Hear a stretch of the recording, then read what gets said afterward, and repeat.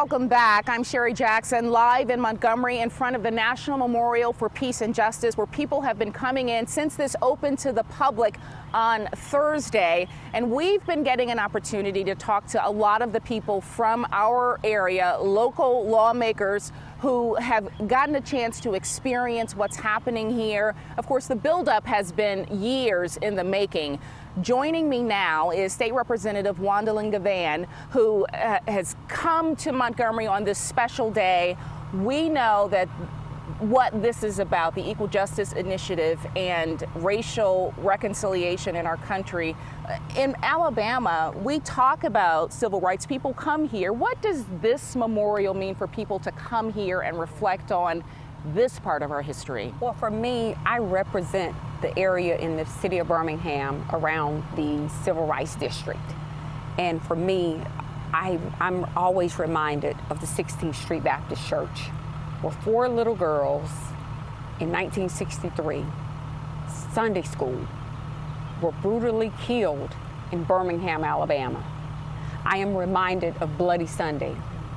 I make that pilgrimage to Selma almost every year. And to come here and to see the thousands of people who come here to this museum opening.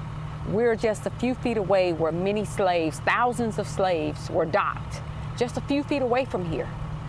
Trafficking has always been a part of our history. I know we look at human trafficking from the sex from the sex standpoint of human trafficking and sex a sexual standpoint of, of uh, with regards to that, but mm-hmm. for me, I look at it for my people.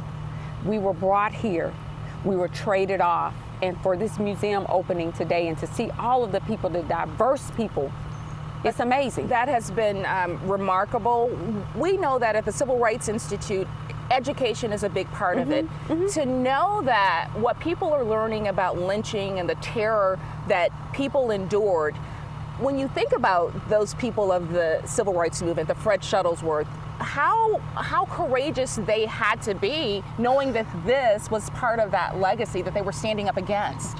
Fred Shuttlesworth, for me, I spoke at his funeral. I considered Fred Shuttlesworth. I just celebrated his birthday just a few weeks ago um, the freedom riders, all of these people who fought for us to have the right to not just stand here, but the right for us to have the level of diversity that we have here now in this country, not just in the state of Alabama. And for me, it's, it's a moment. Anytime we have these type of moments that bring about unity, that bring about and breed a culture that unites us to educate us about civil rights, that educates us about different cultures, different beliefs and values, right. and to also speak a language that says that it's okay to be different. It's okay that my black may be darker than yours, mm-hmm. but it's still beautiful, and that we all matter. I want to thank you for taking time to speak with us because I know there, there's a lot of personal reflection going on for everybody mm-hmm. who gets to mm-hmm. come here. State Representative Juandalynn Givan. Thank you. Thank you so thank much. You. Uh, we will have much more here from Montgomery coming up at 6 o'clock. We've gone out into the community and the rest of the places here. One of the stories we will bring you is that of Anthony Ray Hinton, who spoke at the second day of the Peace and Justice Summit. Uh, his story about being incarcerated wrongly in Alabama Alabama for 30 years on death row, how he got out of prison, and what his mission is today.